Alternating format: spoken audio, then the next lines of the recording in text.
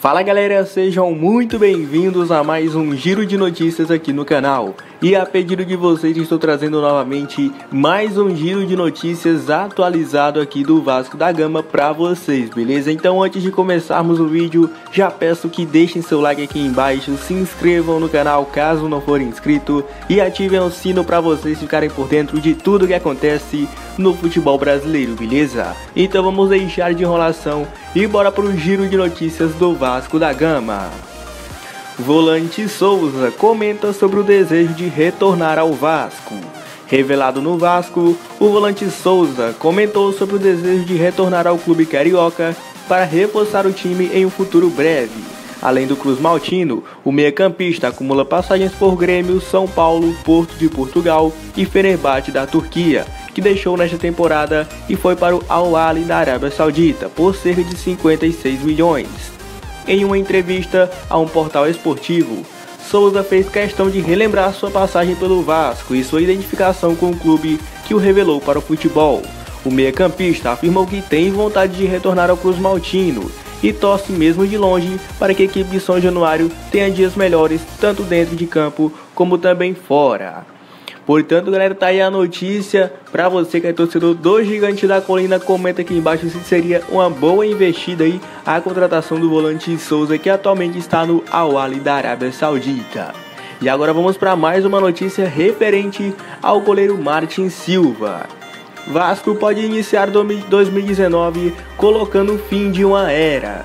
Isso mesmo, galera, seja na Série A ou na Série B, tudo vai se definir domingo quando será disputada a última rodada do Campeonato Brasileiro. O Vasco pode iniciar 2019 com uma grande mudança.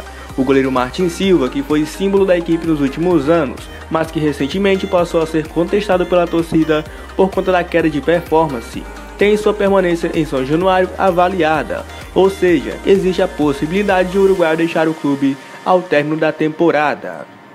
O jogador tem um salário alto e na avaliação interna começou a não corresponder dentro das quatro linhas. Tanto é que Fernando Miguel, que ganha três vezes menos que o companheiro, é o novo titular da posição.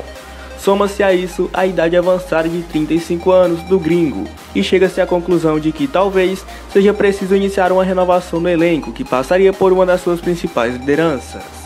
Portanto, galera, para você que é torcedor do Gigante da Colina, comenta aqui embaixo se vocês acham uma boa aí. O Martin Silva sair do Vasco, se ele já está muito velho, se ele não está correspondendo mais. E o salário alto também atrapalha a folha salarial do Vasco, ou se você ainda confia no gigante aí do uruguaio Martin Silva para fechar o gol do Vasco, ele que vem sendo um dos símbolos, é ídolo da equipe vascaína.